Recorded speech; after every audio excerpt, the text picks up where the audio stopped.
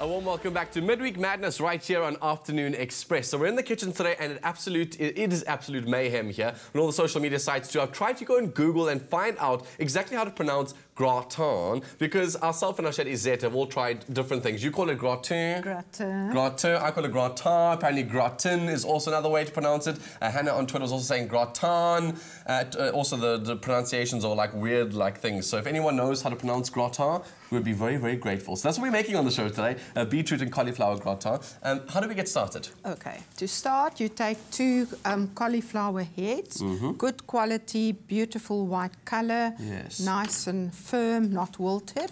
So then you just chop it into sort of smallish florets. It's not that critical because you will roast it Mm. and afterwards you'll puree. Then you um, put it in a bowl. Okay. Toss. guessing you, you put both sides into the bowl, right? You're just showing us how to do the one for now. Yeah. Cool. So um, just finish that. Put all of it into the bowl. Toss with some olive oil. Ooh. This is a great one for winter because it's packed full of vegetables, which is great for you. And it's also a dish you can serve warm. I guess you can also eat it slightly cold if you'd like to. Salt, freshly ground black pepper.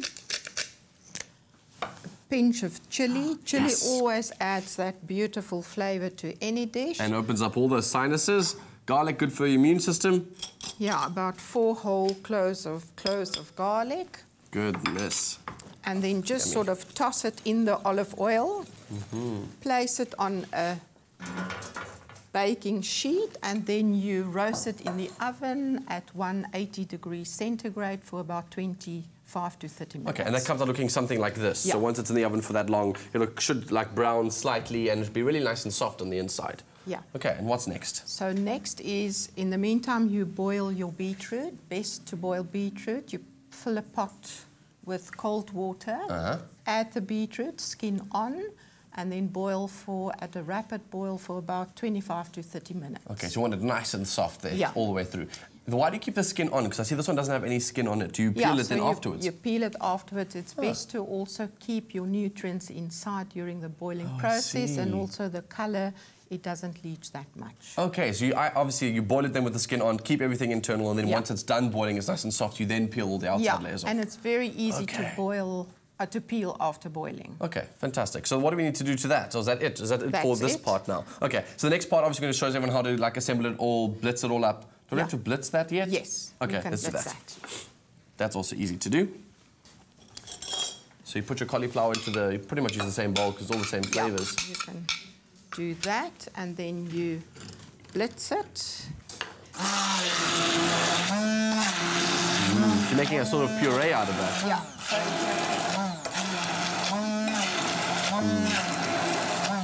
Oh wow, it almost turns into like a paste. It becomes like a mash in so many ways.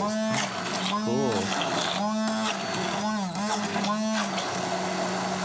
Awesome. Yeah, so this is puree to a lovely, smooth, silky consistency. That is Mm-hmm. part of, I think, cauliflower to add to that very creamy flavor, which is so delicious. Yay. Cauliflower. And then later on, obviously, we'll be showing everyone how to combine all these ingredients together and just to make the perfect gratin. So if you've never made one yourself, make sure you guys go and visit our website. It's afternoonexpress.co.za. You can also find the shopping list for this delicious recipe we're making on the show today. So I must say that obviously these veggies are really, really good for you, but I I know that there are some medicines out there that are also really good for you. So I'm taking a close listen to this interview.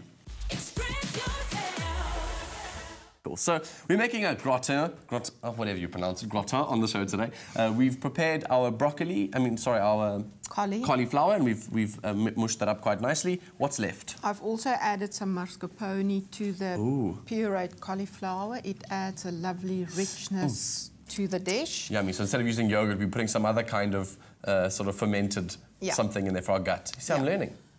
So that's done. The beetroot, freshly boiled, peeled and sliced. So to assemble, this dish is very easy to assemble. Just the way we like it on Afternoon Yeah. Express.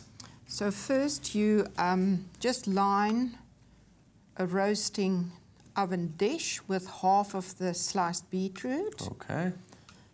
So it's almost like kind of making a lasagna, but with vegetables. Yeah, and it's beautiful. I mean, beetroot being a root vegetable. It's also so nutritious. The Yes. color is beautiful, lots of fiber in Mm. it, and the combination of the intense color of the beetroot with your White cauliflower and uh, the sort of cheese. isn't that beautiful? It's amazing. And looks so healthy for you. Yeah. Oh, so you yummy. add all the cauli puree. And then I guess one more layer of beetroot. Yeah. So cauliflower is part of the brassica family, which is broccoli, Brussels sprouts, Ah. and again, full of nutrients. The beauty of cauliflower, it's also low in kilojoules. Oh, so my it's word. a very popular low carb vegetable. Jeannie just suddenly became interested in this cooking segment right here, I'm pretty sure. So anyway, you layer with the rest of the beetroot on top. Uh-huh. And that's adding like another sort of, as, as you would add pasta layers, this is the Yeah. sort of layer of beetroot that we're adding instead. Okay, it's your fleshy meat. Yeah. Your fleshy vegetable. Next thing, um, some buffalo mozzarella. Oh, buffalo mozzarella. This stuff is I have washed my thebomb.com. hands. It is the most so delicious thing. Torn it over. I'm guessing if you just can't find... Just look at the color contrast. Hmm, oh, yummy. If you can't find, obviously, mozzarella di bufalo, you can always You buy yourself... Uh, um, what is the other one called? Also, that it's got the almost liquid mozzarella on the inside. Um, Can't remember. Looking for a drying yeah, cloth. Here we please. Sorry. Thank go. For you. your hands. Anyway, so that's some freshly grated Parmesan cheese over. Yummy. Oh, Izette, you're such a pro in this kitchen. I could have you as a mom in the kitchen any day. Um. A lovely winter dish for a vegetarian. You can have it on its own Yum. with a crunchy salad, Oh. crusty bread. I'd love to see how everyone else makes this dish at home because I mean it is one of those ones that you can keep cold and just keep reheating and it's so delicious and it's so healthy for you at the same time. If you want to get the recipe for this, we're not done yet though. 'cause I No, know we have to not put done. breadcrumbs. Sorry, I'm busy jumping ahead of the gun Yeah. here. Then just um, top with a layer of breadcrumbs. Which browns to have nicely. A au gratin. Aha. Because gratin comes from the root word. Great. Um, Yeah. And then some additional oregano. You Oh, can yummy. also replace the dried oregano with fresh basil, Thyme. coriander, thyme, Italian parsley, another grind of um, Black pepper. pepper, salt.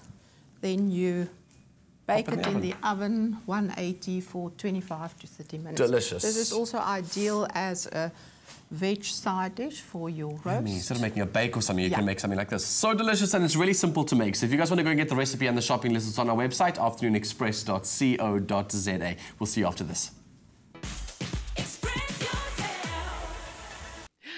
YouTubers. Thank you so much for watching. Your support means the world to us. Join the Afternoon Express family by subscribing to our channel right here. And we'll keep you up to date with all our recipes and, of course, our fabulous episodes. Also, feel free to leave a comment and share this video. We do love it when you express yourself.